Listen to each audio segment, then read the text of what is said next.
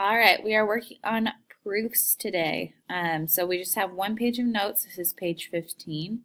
And I know that proofs can be challenging, but you're really trying to just take what they give you and only what they give you to show what they want you to show.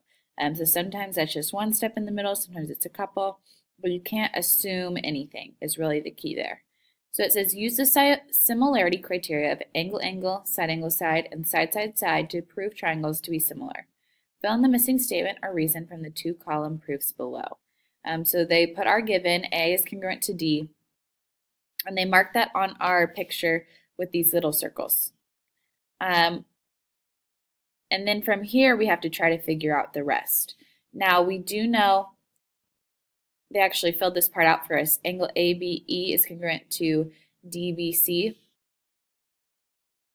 because these are vertical angles. Vertical angles are always congruent. So that's our reason. Vertical angles.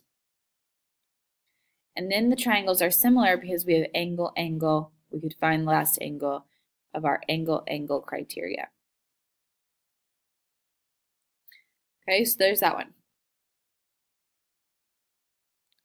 Angle ADC and angle BEA are right angles. So those are already marked on here for us.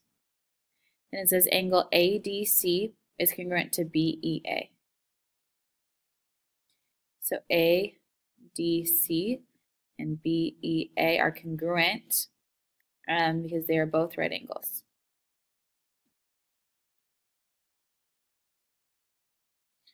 Okay, this was given to us.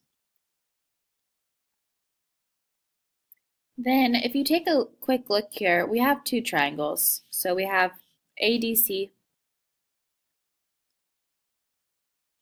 and we have AEB. Okay, there are more triangles than just those two, but we're trying to prove that those two are the similar ones. We can say that angle A is congruent to itself. Um, so angle A is congruent to angle A. That's your reflexive property. And then again, you have angle, angle, angle, angle.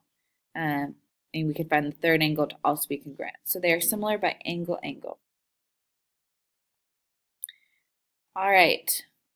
SR is parallel to TG, so they marked that here for us, that was given. S is congruent to G, and since we have parallel lines, those are alternate interior angles. Alternate interior angles. Okay? Then we can also say that angle Q, so SQR, and GQT are congruent because they are vertical angles. So then our two triangles are similar by angle, angle. This one is the most common. But remember, we do still have side, angle, side, and side, side, side, where the sides are proportional. And then we can say QR is over QT, QT is equal to QS over QG um, by definition of similar.